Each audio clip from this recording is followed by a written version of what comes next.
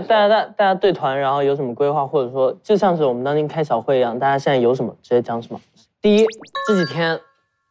比以前我感受到更想团。第二句话是我希望我们所有人的感觉就像在宇宙的时候，宇宙打歌中心的时候，那个时候是我真的很喜欢的时候。然后第三点就是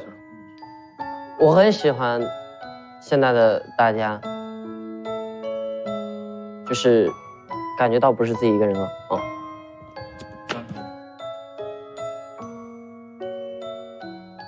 就是我希望我们这个 SKY 就是真的是每个人能在自己的位置发挥他应该有的光芒，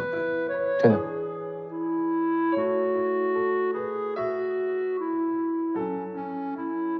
就是我们有的时候开玩笑，真的要把握一个度，就不能就是你这个玩笑从刚开始一开就开到底。其实我我我就讲一点，最严肃的一个问题就是拍照的时候，这个问题真的很严重。因为前，比如我拿拿一次做例子，就是上次在那个，偶尔拍那个树林外面很冷吧，嗯，拍集体照的时候，所我们七个人，但是外面有二十多个工作人员，在布景，然后大家一直在讲，一直在讲，就是开一些玩笑，第七都二十几个人就在等，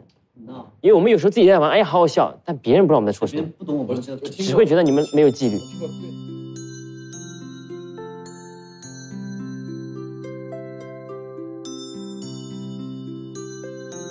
引以为戒，对啊，尽量引以为戒。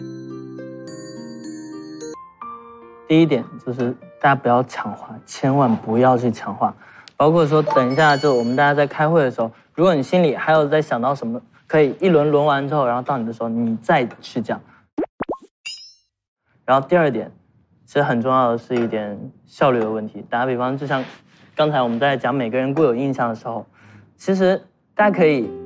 抓住重点去讲话。在心里先把话先给铺好了，到那边直接讲，讲完结束。为什么？如果是我们私下，可能比如说我跟任宇，然后我们俩在厕所的话，随便谈多久无所谓，大家只要不睡觉，付出睡眠时间。但是现在的话，是有工作人员在陪着我们，对，所以这些我觉得效率方面的还是得提高。